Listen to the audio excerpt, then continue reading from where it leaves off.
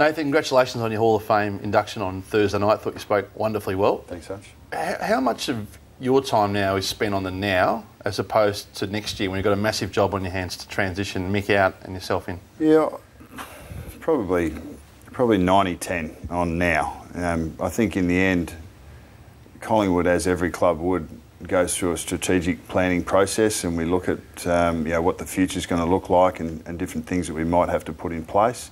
Traditionally, that'll be done through the CEO, the footy manager, and the senior coach, but it's a little bit of a different scenario. But um, you know, fundamentally, every person that's at the club wants to win every week, and we want to maximise the opportunities this year. So my my entire focus, well not my entire focus, but the majority of it is all about making sure that we uh, we make every post a winner at the moment. There's such an uncertainty about the transition that fascinates all of us, and you get asked questions endlessly.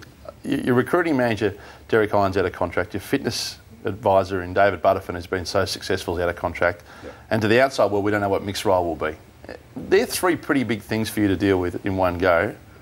How do you feel about the uncertainty around all three? Yeah, there's a lot of uncertainty from the outside, um, not so much internally. Uh, we're going through and in, currently in negotiations with all of those guys, and well, with the first two primarily. Uh, Mick has a contract in place.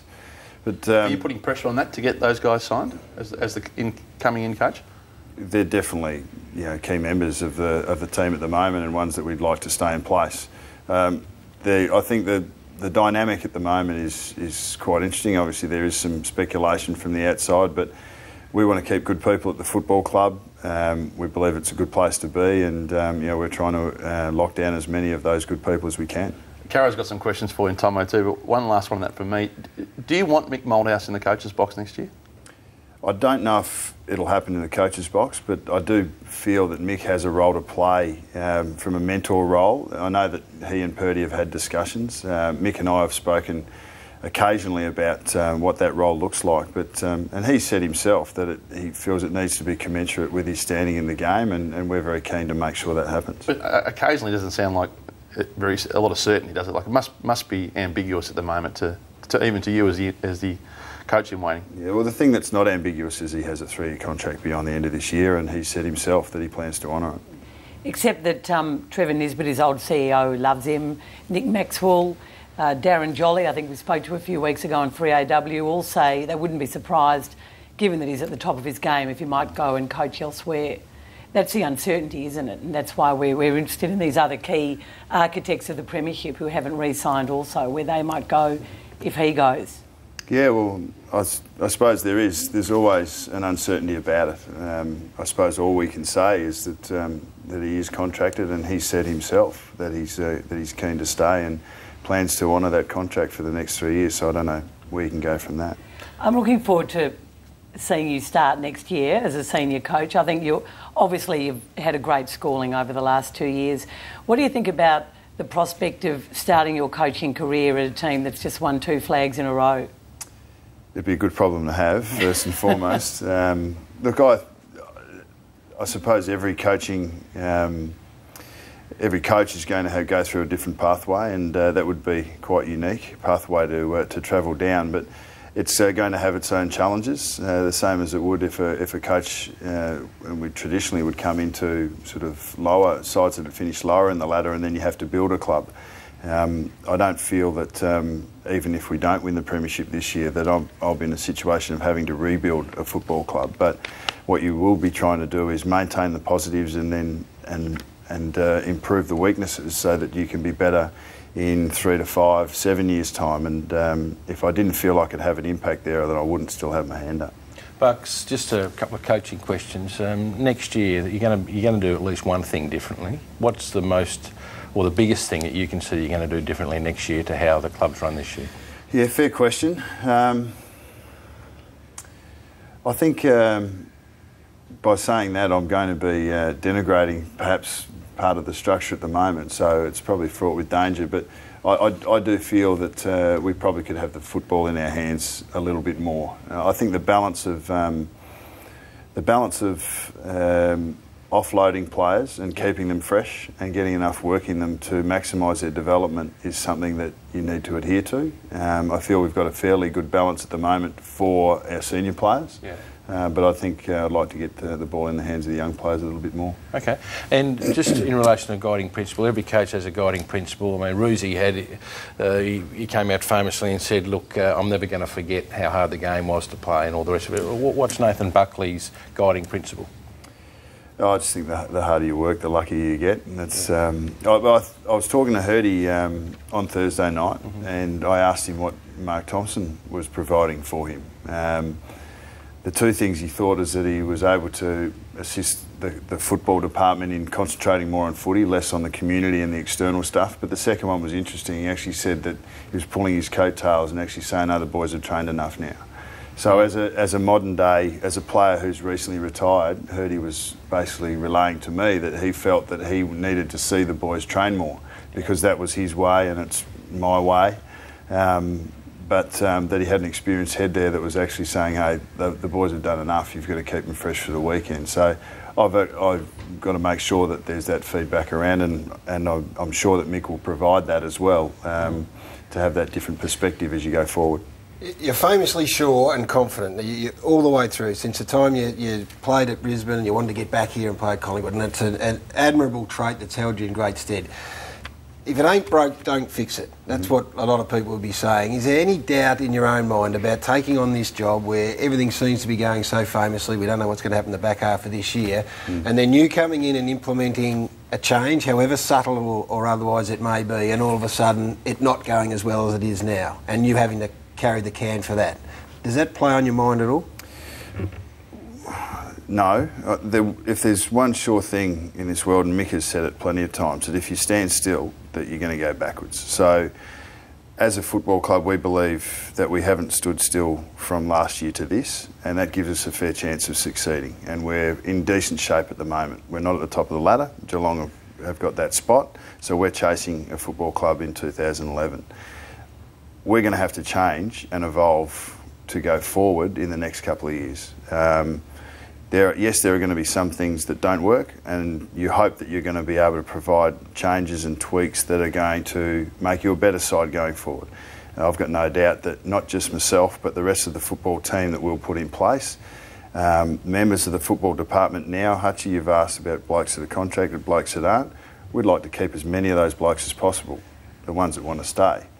So we believe as a team that we'll be able to find those tweaks and those adjustments that are going to make us better going forward. Everyone's been really impressed with how Collingwood has responded to that back-to-back syndrome that a lot of clubs just don't cut it with.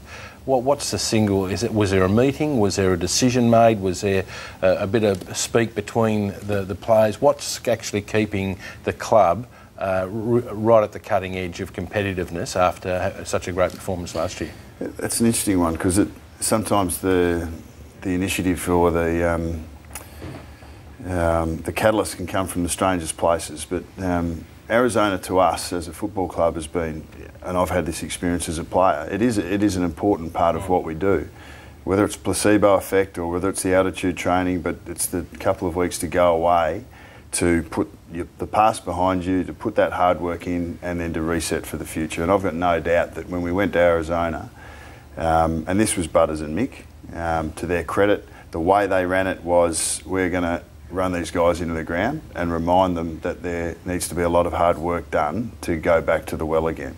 And the boys were left under no illusions when they left that camp. They knew how much work they had under the belt.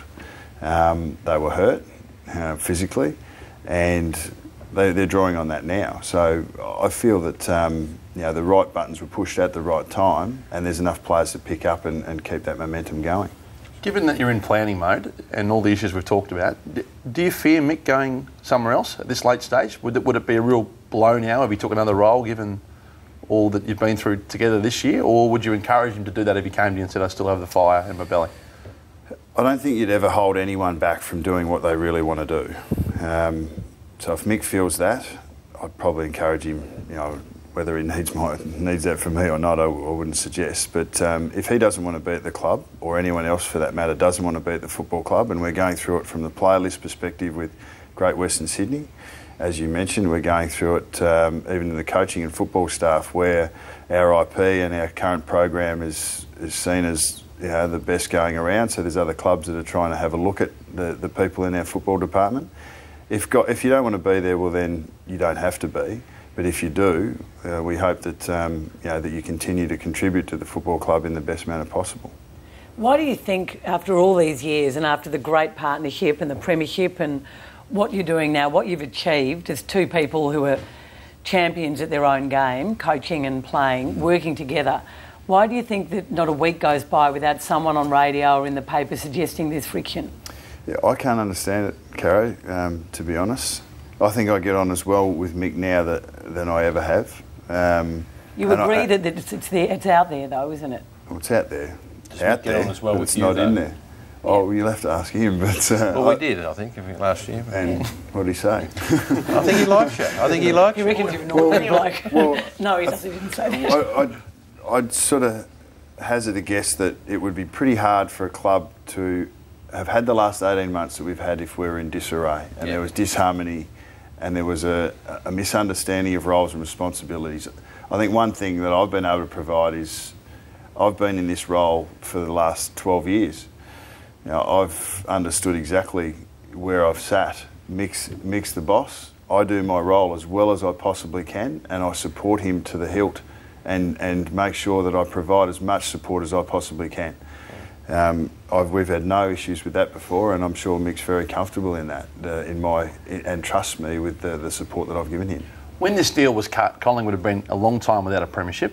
Uh, Mick had been there 11 years.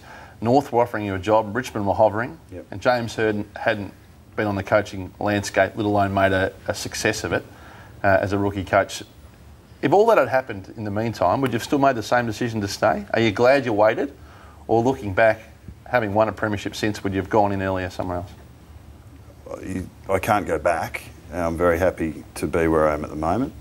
Um, Mick said at the time when the deal was struck that two years is a long time of footy, and he's been around long enough, and you've got to take him at his word. And he's right. You know, a lot has changed in that time. Um, a lot has changed within the football club. Uh, some things that may have contributed to the to the recent success we've had, but ultimately, um, I can't have that time again, and nor would I expect to. And I'm very comfortable in the situation that uh, that I find myself in, and I'm sure the club is pretty happy with where it is. Oh, look, I'm just going to ask you one from last week again. Everyone has had an opinion on this, and leave yourself out of it. Hird, Voss, Ricciuto. Where would you put them? In what order? Um, not the not the my position to do so. Um, I've always I've actually above Put those put above your age and three. Channel 7 hat back was- on again. Yeah, I can't do that. Um, I was asked. Um, I was asked through the through the goings of uh, th- um, throughout the week last week, and uh, who was a player that I held in the highest esteem, and it's actually Robert Harvey. And it's not necessarily that he's a better player than those three guys, despite being an absolute gun. But um, we actually had. I rubbed shoulders with him when I was a 17 year old up in Darwin, and, and I remember thinking that I wish I could be you. And then I was commentating in 2008, looking down at Etihad Stadium, watching Robert Harvey run around 20 years later, and I remember thinking I wish I could be you because I wanted to be playing again. So I just feel like, um, and I felt like I took a lot out of watching him play and learnt a lot more about the game from watching him play than most other players that I watched. So he's been the one that um, that I've held in the highest esteem.